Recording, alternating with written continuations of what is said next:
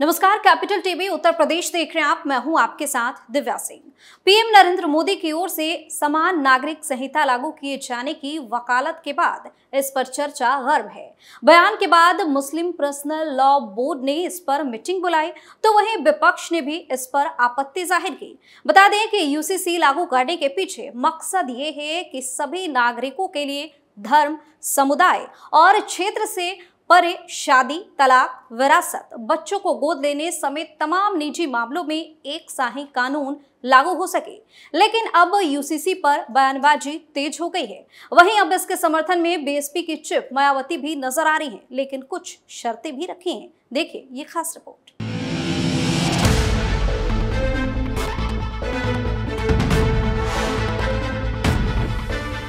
देश में uniform civil code को लेकर सियासी पारा चढ़ा हुआ है। संभावना जताई जा रही है कि केंद्र सरकार मॉनसून सत्र के दौरान संसद में यूनिफॉर्म सिविल कोड पेश कर सकती है। इस पर विभिन्न दलों की ओर से प्रतिक्रियाएँ भी सामने आ रही हैं। अब बीएसपी चीफ मायावती ने भी लखनऊ में बयान जारी कर इस पर पार्टी का पक्ष रख दिया है। बीएसपी चीफ ने कहा है कि हमारी पार्टी यूसीसी के विरोध में नहीं है। लेकिन उसे जबरन थोपने का प्रावधान बाबा साहेब भीमराव अंबेडकर के संविधान में निहित नहीं है। इसके लिए जागरूकता और आम सहमति को श्रेष्ठ माना गया है, जिस पर अमल नहीं करके संकीर्ण स्वार्थ की राजनीति करना देश हित में सही नहीं है, जो कि इस समय की जा रही है। संविधान की धारा 44 में यूसीसी बनाने का प्रयास तो वर्णित है, मगर इसे थोपने का नहीं। इसलिए इन सभी बातों को ध्यान में रखकर ही भाजपा को देश में यूसीसी को लागू करने के लिए कोई कदम उठाना चाहिए था।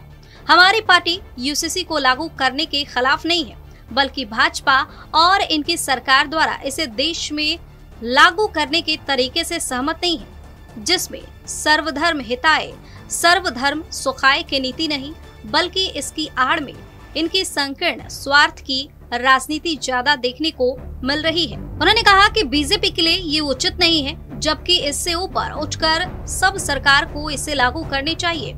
इसमें कोई धार्मिक पक्षपात नहीं होना चाहिए। यदि बीजेपी सरकार ऐसा कुछ करती है तो हमारी पार्टी इस मामले में सकारात्मक रुख अपनाएगी। ऐसा नहीं होता है तो हमारी पार्टी इसका विरोध भी करेगी। लेकिन देश में जनहित में सही तो ये होगा कि इस समय सरकार को अति महँगाई, गरीबी, बेरोजगारी, शिक्षा और स्वास्थ्य जैसे बुनियादी जरूरतों के आधार से देशवासियों का दर्द बांटने में संसाधन और ऊर्जा लगाई जाए।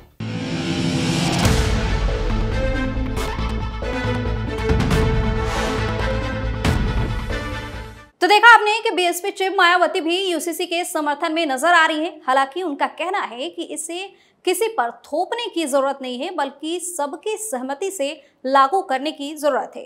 धीरे धीरे विपक्ष से कई लोग इसका समर्थन करते नज़र आ रहे हैं तो कुछ लोग इसके एकदम विरोध में भी नज़र आ रहे हैं। वही कयास लगाए जा रहे हैं कि केंद्र सरकार मानसून सत्र के दौरान संसद में यूनिफॉर्म सिविल कोड पेश कर सकती है। इस खबर में इतना ही, देखते रहिए कैपिटल टीवी, उत्तर प्रदेश। नमस्कार।